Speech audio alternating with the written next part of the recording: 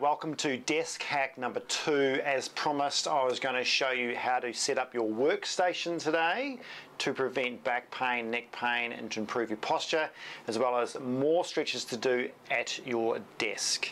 Now, the first thing is we'll go through is our workstation setup. So, the best thing that you can work on is your chair. Okay, that's the most important thing. You're going to sit during the day is sort out your chair. Now, Remember, this is just for people who are sitting. I would rather you are having a standing desk. So if you're at home or you're in the office, you'd go for a standing desk. If you can get one, it doesn't have to be expensive. Just try and have a standing desk that can click up. So therefore you can stand at least 50% of the time while you're at your workstation. This is not designed for you to sit all day, okay? The number one you know, cause in my book of back pain and disc problems is sitting down for you know, all day for your entire life and that would cause that load problem in your back. So that's another story but what I'm trying to work on is getting your chair correct. Now my workstation I use a computer a very small amount of the day. I'm mostly in the clinic treating clients or I'm in the gym rehabbing clients. So I don't need an amazingly awesome setup. Okay, but for those of you who are sitting down the majority of the day or at a workstation the majority of the day, you need a really good setup as in your chair and you need a standing desk. So chair. What I want to make sure of is you have you need the chair height for a start so your hips are never lower than your knees. Okay, so you can't be like this. Now this is a problem with tall people. So the tall people problem. I mean, I'm six foot one, so I'm not that tall, but for people who are six foot seven, if they are at a normal desk and a normal chair, they'll probably find they're in this position here, which puts them in a bit of flexion, which is not great. So you really need your chair to be as high as you can. Now, some chairs don't go high enough, okay? So you've got to get a chair that goes high enough that your hips on a, on a little bit of an angle, okay? You can't be down like this where you're lower, all right? And this is where people have problems in cars because they're usually sitting lower in the seat. So you've got to have the chair really high. Now, when we come back to tall people, if they're really tall, sometimes therefore the desk is too low. So just on a side note, if you're really tall, I would chalk up your desk and get a chair that goes high. So you can sit really comfortably because guess what? If you're sitting in a position where you are either parallel or preferably hips higher than knees, your lower back is going to be in a good position as well. Now, the next thing is the chair. This chair, you need to be bolt upright. So this sometimes they have a little curve like that okay if you're sitting in a chair like at home where it has a, like a dining room chair that has a very straight back that's great I don't want one that tilts backwards okay that goes all bendy so if you can start doing this sort of thing you're just going to end up doing that okay now I don't need that for a very short period of time but Ideally, this is a little bit higher up, okay, so you can move that. If you can move this chair to upright, that's great. Now, if it's got a very big lumbar support, that's fantastic, but you've got to make sure you sit in it, okay? So you've got to have your bum right back in the chair so that lumbar support is holding your spine in neutral. You can't slouch in the chair because that's going into a C shape position, okay, which is not great for your back. You want to be in a neutral position, which is a normal lordosis. Now, there's going to be a gap here. So if you've got a chair with a gap, you need to use something like a lumbar roll to fill in the gap. So what it does is it keeps you in a neutral spine. So you put it just above your belt line and then you lean on it and it's just propping me up, okay?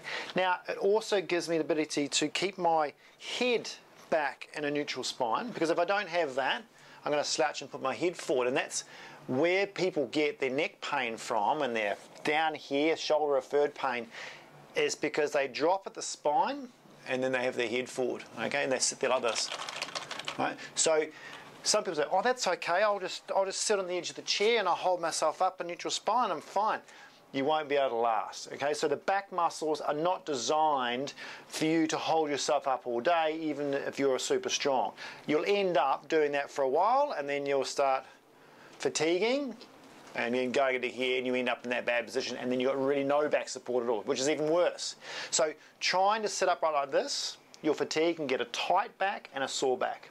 So you've really got to use the back of the chair. And this goes for Swiss balls. Don't use a Swiss ball to sit at a workstation. Use a Swiss ball for rehab, okay? Use a proper chair for your workstation or standing. Um, and this lumbar roll is going to really, really help you. So putting one of these in, getting into there, getting in the right position in the lumbar spine and hold you up. And it makes your back muscles relax a bit so you don't get the fatigue all day. And it keeps your spine in position so all the back is active posturally but at a low level, which is what you need all day. You need it at a low level. If you have it active at a high level, you're going to fatigue, so you need a low level because you're sitting down for a period of time. So that's just the chair, right? Now, the next thing is how far away you are from the computer. Now, ideally, it's about arm's length. Now, people with glasses, eyesight um, changes, it may vary a little bit, all right? So if you've got contacts or glasses or you need to look, you know, you're short-sighted, this may vary. But in a nutshell, the screen needs to be arm lengths away is about your focal length, okay? So I need to be, guess what, there. Now, if you notice, if I put my arms straight down and 90 degrees, my hands aren't reaching the, this table, right? So this table is not deep enough, right? So when you're here, I can touch the screen, right? So what I tend to do is like, oh, I need to be, that's not, that's not sort of close enough. So what I, my body will do is I'll, if I go close, then I'm too close to my screen. So I won't like that. So I'll stay at a, at a focal length, but I'll end up doing this to get my hands forward, right? So the length of the desk is really important to make sure it doesn't force you, like your environment doesn't force you into this position here, which is the classic back, neck, headache issue, all right? Shoulders, rounded shoulders sort of thing. So look at your desk height, look at your monitor length and make sure that is all set up correctly. So you can have it at arm's length and then you can have your keyboard back here because you don't want your keyboard forward because you need your elbow sitting under your shoulder. Okay, don't have it forward because you won't be able to last like that. What you'll tend to do is put the whole shoulder forward, which puts all the strain on here. Okay, so let's just say I am good and I'm back into here. This keyboard needs to be back, okay, in this position here. And my mouse very close. Now I suggest get a mouse pad, not just to make it track properly, but the mouse pad, if you stick that mouse pad down, it stops you pushing the mouse forward. All right, so it always stays on this mouse pad because you want your arm back here as well. Most people tend to sort of do this. Okay, so they lean forward and they scroll up and like, oh yeah, look at that. And they'll have the headphone, they'll look at it and they'll stay like that for hours. Oh, geez, I better get out of that. But it's the hour that's gone and wrecked your neck and wrecked your lower back. But and that can be just from the mouse. So you sort of scrolling forward. If you don't have a mouse pad, you sort of tend to go forward and tend to do this, and, and then that's terrible. And you think you're leaning, it's okay, but it's not great positioning if you're doing it all day, all of your career. Okay, so get that mouse on a mouse pad. Now, the last little thing really is the monitor height. Okay, so this monitor height, if you look at me, where my eye level is, I need the top of the screen to be at the same level. Okay, so if I have this down like this, I'm looking down. Okay, and I'll tend to hinge forward, and that's going to put a lot of strain here. I want to be in a neutral spine. Okay, so you'll probably never have it too high. Okay, if you do, you get it down to high level, but most of the time it's setting too low. And this goes for people with laptops, which are horrendous for necks. So if you're down a laptop, you're really looking down at the screen like that. And if you're a non-touch typist, okay, if like me, I can't touch type, I, I'm too old, this typing here, I have to look at my key, so I'm constantly looking forward like this. If I'm a touch typist, I can look up.